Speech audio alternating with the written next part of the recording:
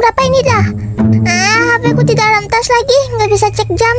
Ada ya, aku keluar aja sekarang. Mataku udah nggak sembab lagi kayaknya.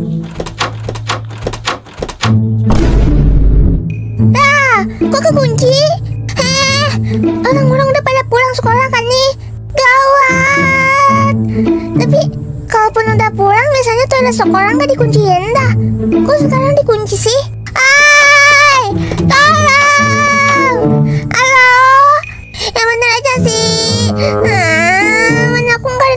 Lagi, lapar, terus pusing juga. Gimana ini? Ah, tolong! Tolong! Tolong! Ah, teman-teman kalian pasti nyariin aku kan? Pentoy! Ah, kenapa jadi kepikiran pentoy sih? Ingat Mochi, udah sama cewek lain buat apa aku pikirin tuh anak? Tolong,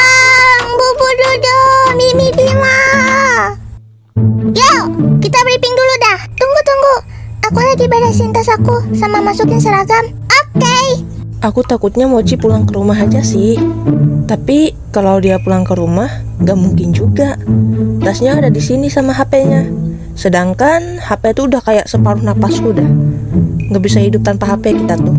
Jadi kemungkinan besar nih ya, kalau Mochi sekarang masih sembunyi di sekitaran sekolah, dia bakal balik ke kelas lagi dong buat ngambil HP-nya. Dan kalaupun dia pulang ke rumah nih ya, dia juga bakal balik ngambil HP. Ya enggak sih? Em, masuk akal, masuk akal, masuk akal. Telepon kakaknya aja gimana? Pakai HP Mochi itu. Ah, bisa bisa. Kita tanyain.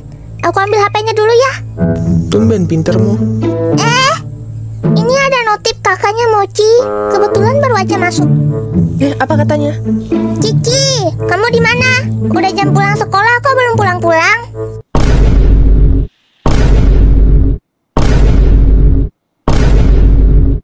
Berarti Mochi nggak ada di rumahnya dong. Em, jangan tanya deh berarti udah fix Mochi nggak pulang ke rumah. Kasihan kakaknya, kan dia lagi sakit. Gimana kalau dia tahu Mochi hilang? Kalian tahu aja kan posesifnya kakak Mochi kayak gimana? Um, iya sih. Terus gimana dong?